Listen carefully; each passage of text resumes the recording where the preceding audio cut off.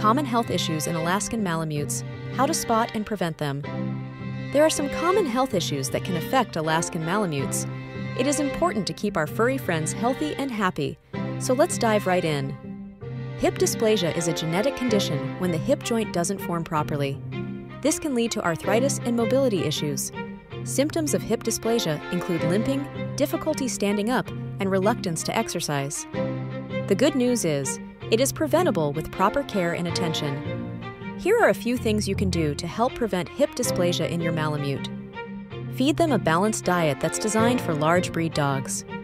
Provide regular exercise, but avoid high impact activities such as jumping or sudden twisting until they are fully grown. Malamutes are prone to eye issues such as cataracts, progressive retinal atrophy, glaucoma, and uveodermatological syndrome. A cataract is a cloudy area in the lens of the eye that can cause vision loss. It's a common condition in older dogs and can be treated with surgery.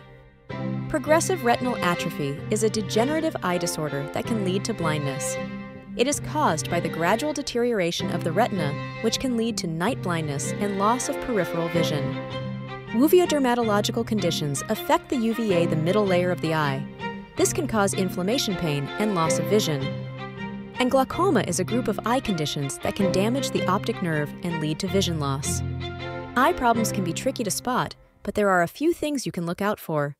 If your Malamute is squinting, has redness in their eyes, or is having trouble seeing, it could be a sign of an eye issue. It is important to have their eyes checked regularly by a veterinarian to catch any potential problems early on. Regular exercise is a must for this breed of dogs. They were bred to pull sleds and run long distances, so they need plenty of physical activity to stay healthy and happy.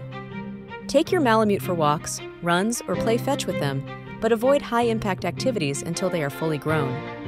If you have any concerns about your Malamute's health, it is always best to consult with a veterinarian, so don't hesitate to seek professional help if you need it. Thanks for watching, and remember to like and subscribe for more videos on how to keep your Alaskan Malamute healthy and happy.